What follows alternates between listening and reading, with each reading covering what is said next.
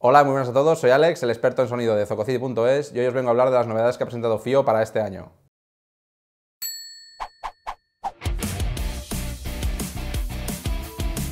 Como algunos de vosotros sabréis, el 16 de marzo FIO realizó un evento para presentar su nueva gama de productos, entre los cuales podemos encontrar nuevos reproductores, DAX y amplificadores, accesorios, y hoy os voy a traer un poquito lo que a mí me ha parecido más interesante y os voy a comentar qué novedades nos traen.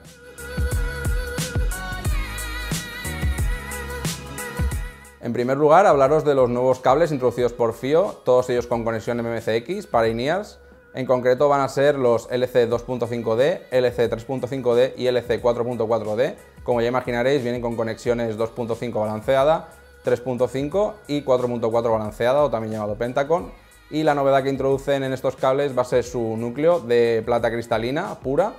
y el recubrimiento del propio cable que viene en, un gel o silicona de grado médico. Esto en mi opinión es interesante de cara sobre todo a este nuevo mallado del propio cable, más que nada porque debería aguantar mejor lo que son tirones, torsiones o incluso que se nos enganchen a algún lado, con lo cual mayor resistencia, que es algo siempre que viene bien.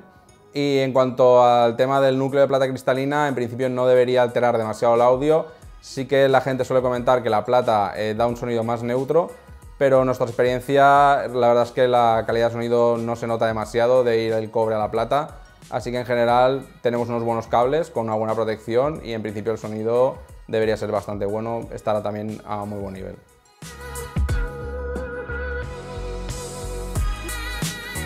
Otra de las novedades presentadas por FIO es el nuevo Q5S, es una versión mejorada de lo que ya teníamos en el Q5, básicamente en tres apartados. El primero va a ser el nuevo módulo que va a montar, que va a ser el nuevo AM3E, por otra parte, el chip interno también va a mejorar. Eh, vamos a pasar de un solo chip, que era el 9018 de Sabre, al 4493 en versión dual de AKM. Así que en general el audio debería mejorar bastante. Y luego otro aspecto muy a tener en cuenta va a ser la mejora también del Bluetooth. Es decir, vamos a poder eh, recibir señal en el EDAC. Esto anteriormente en el Q5 normal no podríamos hacerlo. Tenía Bluetooth pero con aptX simplemente con lo cual vamos a aumentar la calidad de la emisión por Bluetooth y eh, evidentemente el sonido, más que nada porque va a ir mucho menos comprimido. Y otro de los aspectos muy buenos de este Q5S va a ser la capacidad de codificar DSD hasta 512, con lo cual eh, ya sea un MP3, un FLAC, un DSD, vamos a reproducir cualquier tipo de formato con una muy buena calidad de audio. Con el lanzamiento del nuevo Q5S vamos a mejorar mucho, en mi opinión, sobre todo en aspectos como el chip DAC. Eh, vamos a contar con un chip dual que nos va a dar bastante más calidad de audio, además de permitirnos decodificar DSD 512, es decir, muy alta resolución. Y además, al ser receptor tanto de aptX HD como de LDAC, vamos a poder prescindir totalmente del cable y mandar la señal por Bluetooth prácticamente la misma calidad que si usásemos el cable, nos vamos a ahorrar llevarlo conectado y va a ser muchísimo más cómodo. En esta misma conferencia también se presentó el nuevo módulo de amplificación, el FIO AM3D, que es compatible con el Q5, el Q5S, el FIO X7 y el FIO X7 II y nos va a traer certificación THX, lo cual nos proporciona un audio con muy baja distorsión y muy bajo ruido y al mismo tiempo muy poco consumo energético. Vamos a poder adaptarlo, como siempre, a los reproductores de FIO y a los amplificadores y DAX y de esta forma obtener un muy buen audio eh, conservando muy buena duración de batería así que si queréis disfrutar de vuestro audio en la máxima calidad, es una muy buena opción y que vais a tener que seguir muy de cerca.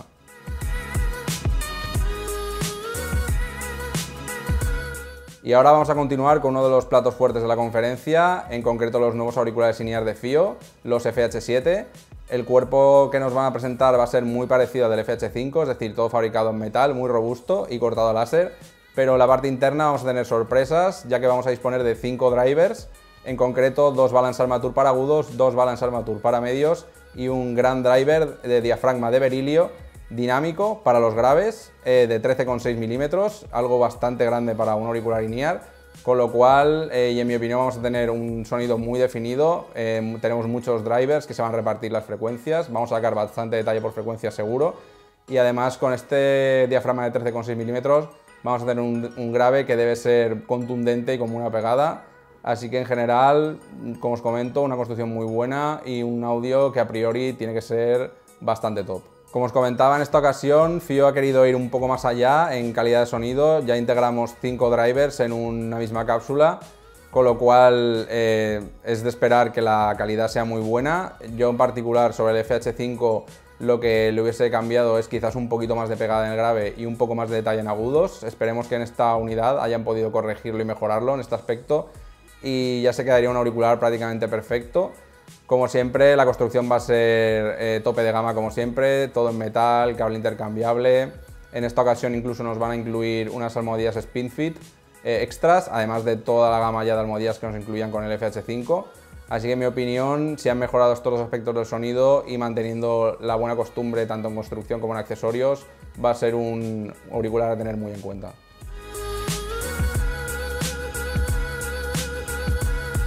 También en la conferencia se presentaron dos reproductores nuevos. En primer lugar el FIO M5, que va muy destinado para todos aquellos que queráis un muy buen reproductor con buena calidad de sonido, pero que ocupe el menor espacio posible. Es muy compacto, vamos a poder llevarlo incluso en la muñeca, va a tener un chip DAC de alta gama, también buena amplificación para el poco tamaño que tiene y además otro tipo de tecnologías como las que siempre integra FIO, como el Bluetooth bidireccional con compatibilidad hasta LDAC. Eh, también tendremos muy buena capacidad de almacenamiento, eh, hasta 2 teras por micro SD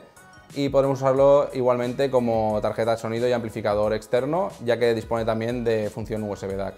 Otros aspectos muy novedosos de este FIO M5 es que va a poder ser usado como un reloj propiamente dicho. Tiene una función de smartwatch, vamos a poder llevarlo en nuestra muñeca con la correa que va a suministrar el FIO aparte y además va a contar con un medidor de pasos, por lo cual vamos a poder registrar nuestra actividad deportiva y además tendremos una batería de muy larga duración, va a estar por encima de las 20 horas de duración Así que tanto para los que queráis un smartwatch para realizar deporte como los que queráis un reproductor muy compacto para disfrutar de vuestra, vuestra música, no le perdáis pista porque este modelo promete mucho. Mi opinión es que este FIO M5 va a hacer las delicias, sobre todo de la gente que no quiere llevar un gran reproductor que sea muy pesado, eh, es fácilmente transportable, con lo cual vamos a tener la máxima calidad de sonido ocupando muy poco espacio y siendo muy cómodo de llevar. Lo podéis llevar en vuestro bolsillo, con su clip eh, puesto en la camisa o incluso usando la correa como si fuese a modo de reloj. Así que en general me parece un muy buen reproductor para todos aquellos que quieren disfrutar de un muy buen sonido y olvidarse tanto de un reproductor pesado como de los propios cables utilizando su Bluetooth.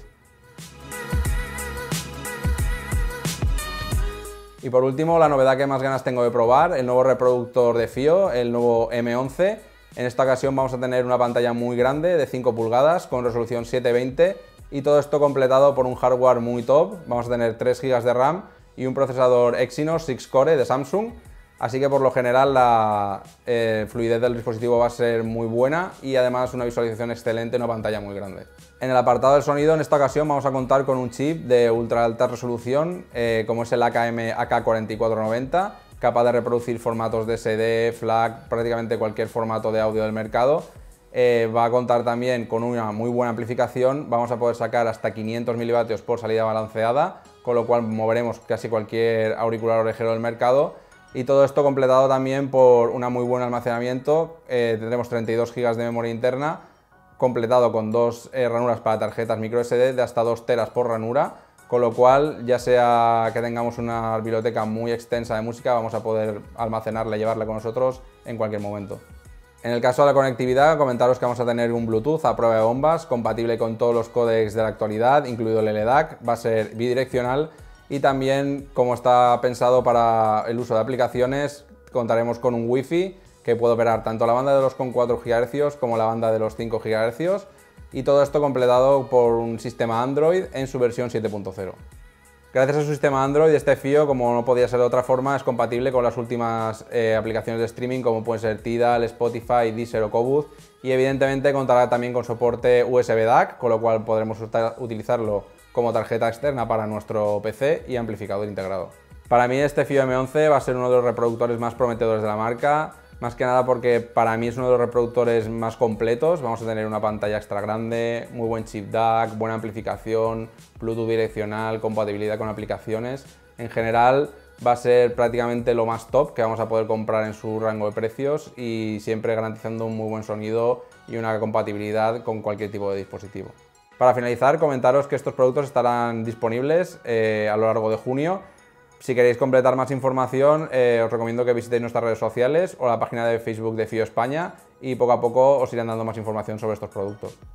Pues nada, hasta aquí el vídeo de hoy. Ya sabéis que si tenéis cualquier tipo de duda o consulta, podéis contactarnos en nuestro teléfono de atención al cliente y yo mismo me encargaré de atenderos. Un saludo y hasta el próximo vídeo.